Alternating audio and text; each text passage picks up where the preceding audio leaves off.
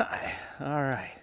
So I'm loading the car and uh, I'm getting ready to uh, go over to the neighbor's house. He cut down a tree a while ago and one of the branches is still sitting there and he said, come on over, get what you want. I said, all right. And they're small branches, perfect for making spoons.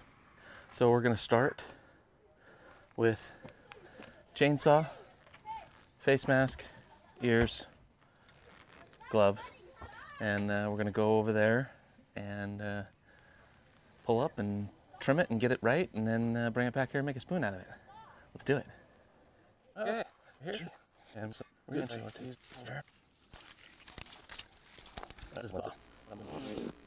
So I moved some of those branches out of the way and began cleaning up this big branch. I find it's the best way to handle this kind of thing is if the branch is still on the tree, you can clean it up and get it prepped beforehand, before you even make it back to any tools. So you don't have to use your bandsaw to cut off the bark or anything. You just use a quickie on the chainsaw. It works really well. Um, while I was doing this, I spotted, hey, there's another branch right there. So first I had to go clean off the other branches on the other side, and then I saw it and was like, I can get another branch out of this. So I cleaned it up so that when I walked away from all this, I would have two usable branches in the garage. And here I go cutting that one off, and there you go. I uh, then cut the rest of it down for my neighbor. Okay.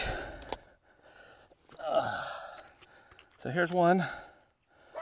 And it's got some holes in it. This has got some, uh, it's been sitting here a while. It's got some nice uh, look to it. We're going to take it home and see what we can do with it. And then we got the smaller one off a smaller branch. We'll see what we can do with that. Okay, so now I'm back in the shop and we've got one side that's somewhat flat and another side that's somewhat flat. And we're going to use the planer. This one's got a little curve in it. I don't know if you can see it, but it's got a little curve in it. We'll see if we can't fix fix that, remedy that. We'll just size it up, run it through the planer, and see what we got. Um, sometimes it comes out real good, and sometimes not so much. We'll find out. Like that.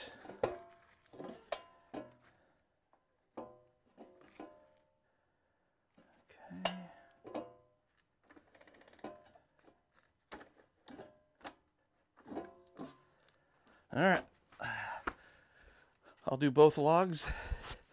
Let's see what we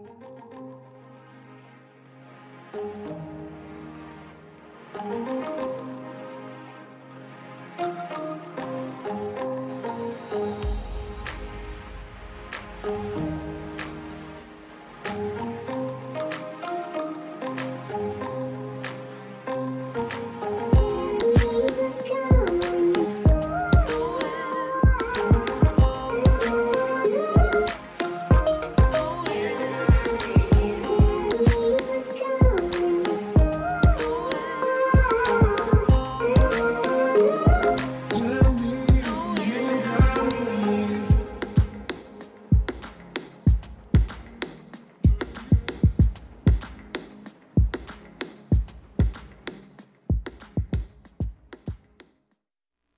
Shop dog, there's Snow, sitting in the car watching me work, well, sleeping while I work.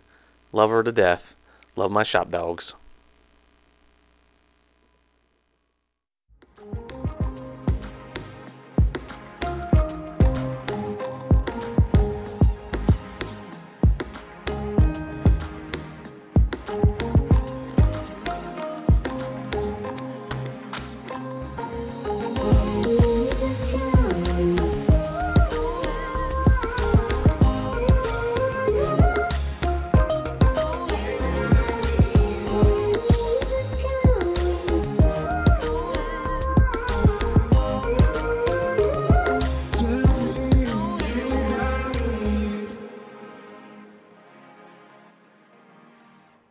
Okay, so now we've used the chainsaw, we've cut them down, we ran them through the planer, we smoothed out the two different sides. Now I've taken it and I've run it through the the bandsaw And as you can see, it's it's just a small bandsaw. It's not a big expensive one. Use what equipment you have to do something you love. That's what this is all about. Um, so I got a small board here, and it has been sitting out now for maybe 20 minutes, and I'm I'm already starting to see the signs of a stress fracture cracking in it, where it's drying out. Um, this wood probably probably sat on the side yard where I got it from for a good year prior to this. Um, I got this one cut down. I can see where this one has a few spots that need attention to. I'm going to run it through the planer to plane off this side and this side just because it makes it look uh, nice. I don't have to sand it as much. Um, beyond that, I'm, I'm ready to start designing where I want to put my, my spoons. Maybe even run it through uh, once and cut it down so I can get two blanks out of it.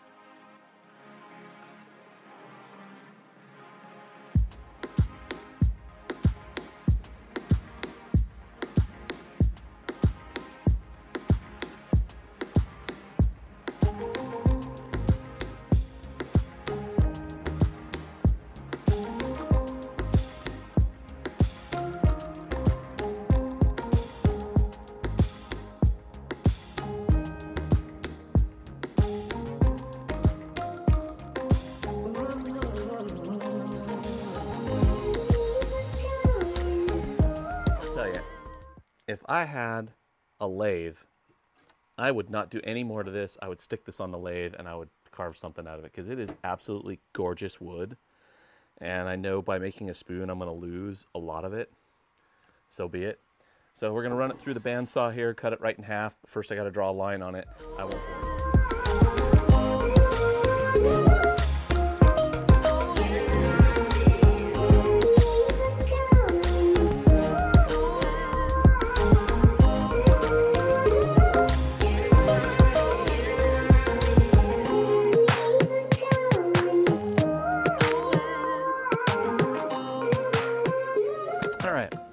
Now I have taken uh, the smaller of the two, not the two, not the one I just cut in half. I decided I might use that for a different project at a different time, but this one I wanted to go for it. It's nice and thick. I can get a nice deep bowl in it.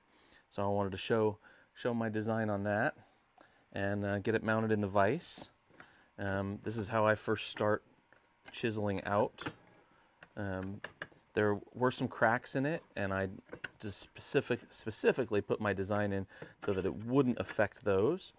Um, the nice part about clamping it in the clamp and really getting it tight is that I don't care if the wood gets crushed right here because I'm going to cut that sections out. So I don't care if there's impressions on those sides. It's like having a placeholder in there. And now it's super sturdy and I can start the carving process. Um, I've got the nice double line on there so I know where, where I'm going to cut out let me uh, switch this to time-lapse mode and uh, see what happens.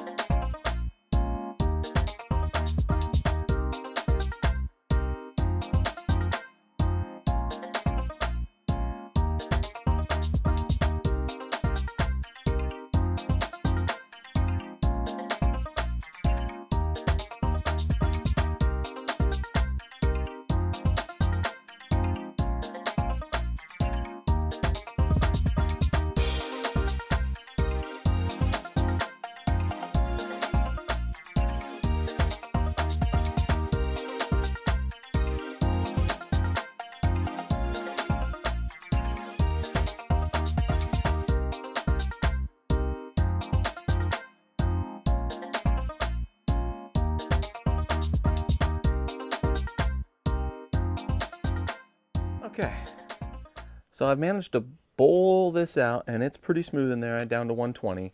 I didn't super sand it yet um, because accidents happen and sometimes you need to things, so don't waste your time sanding that. Um, I've traced out on here straight stick.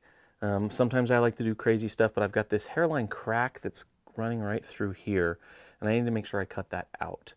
Um, I also have this knot that's got a crack in it, so I'm going to take it around that hoping I can put a hole right there so that the spoon can then hang up on the wall.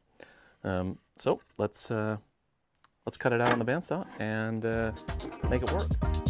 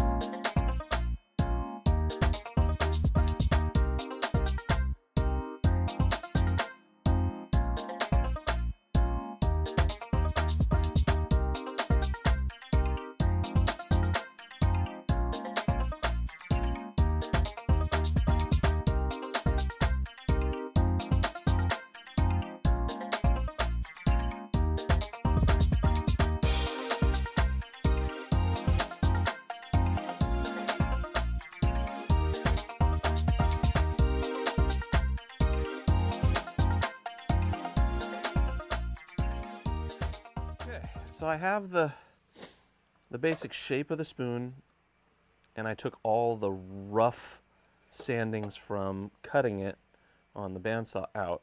And I can see there's a few spots here. I may have to do a quick a quick take clean up here now that I've wiped it down. It's really important in between different sand jobs that you wipe it down with something, even if even if it's just your hand and hand to hand. And just kidding.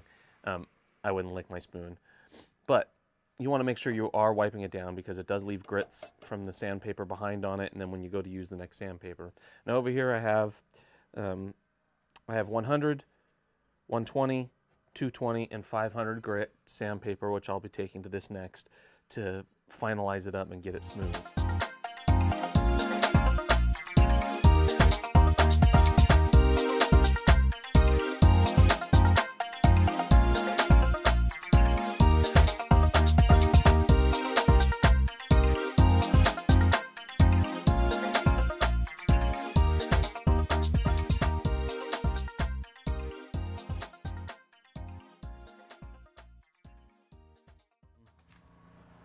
Mineral oil around here. Here's the spoon. Let's just, I did a mineral oil between each sanding grit. So it shouldn't take, shouldn't absorb quite so much, but you can just see how rich. Look at that, look at that. Ugh. It just looks like jewels. It just is so beautiful. So beautiful.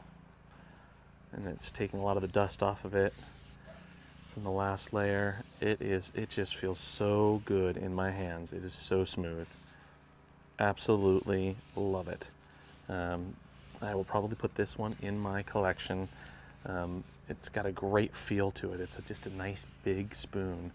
Um, and it's just, you just look at, look at the, look how beautiful it is. That's so great. Yeah, and uh, around that part in here and so that's it. I don't know what else to say. From tree branch to wooden spoon, and I still have more blanks to go.